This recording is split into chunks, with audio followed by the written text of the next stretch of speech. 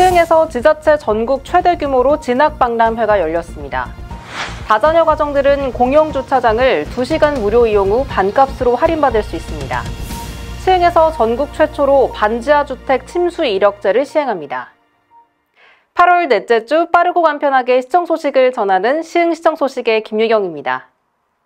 이제 수능이 100일도 안 남았죠. 그만큼 고3 학생들은 진학 준비로 바쁠 시기인데요. 시흥에서 대학 입학과 진학 상담과 더불어 다양한 전공 정보를 나누는 진학 역량 박람회가 개최됐습니다. 행사는 8월 19일 토요일 서울대학교 시흥 캠퍼스 컨벤션 센터에서 열렸습니다. 오전 11시 20분부터 오후 5시까지 진행됐는데요. 오전에 수시 대입 전략 학부모 특강을 시작으로 1시부터는 서울대와 연세대, 고려대 등 39개 전국 유수대학 입학사정관 상담이 열렸습니다. 서울대 학부생으로 이루어진 진로 멘토링 등 94개 대규모 부스 운영으로 많은 사람들의 참여를 이끌어냈습니다.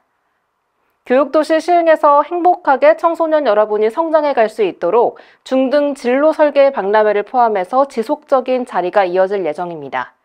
꿈꾸는 미래를 이루는 맞춤형 진학 설계 시간이 되길 기대하며 앞으로도 많은 관심으로 함께 해 주시길 바랍니다. 두 자녀 이상만 돼도 다자녀 가정이라고 하는데요. 시흥에선 농협에서 발급 가능한 경기 아이플러스 카드를 통해 다자녀 가정에게 공영주차장 무료 이용이나 할인 혜택을 제공하고 있습니다. 경기 아이플러스 카드는 체크카드와 신용카드 두 가지 방법으로 발급받을 수 있는데요. 신청을 기준으로 현재 경기도에 거주하며 두 자녀 이상 가정 중 막내 자녀가 만 15세 이하인 가정의 부모 또는 조부모 중 한 명이 신청 가능합니다.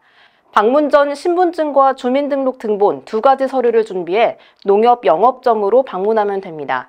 신청 후 시흥 도시공사 홈페이지에서 바로 패스를 신청하면 공영주차장을 2시간 동안은 무료로 이용할 수 있고 이후부턴 반값으로 이용할 수 있게 됩니다. 이를 통해 시흥시는 다자녀 가정의 경제적 부담 경감을 기대하고 있습니다. 시흥에서 한국공인중개사협회와 손잡고 전국 최초로 시행하고 있는 게 있습니다.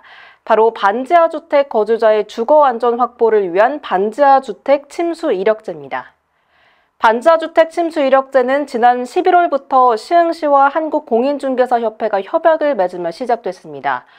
공인중개사가 중개 의뢰된 반지하 주택의 침수 이력을 시흥시에 요청하면 시는 의뢰된 주택의 침수 흔적 확인서를 발급해 중개 과정에서 고객에게 해당 주택의 침수 이력을 확인시켜주게 됩니다.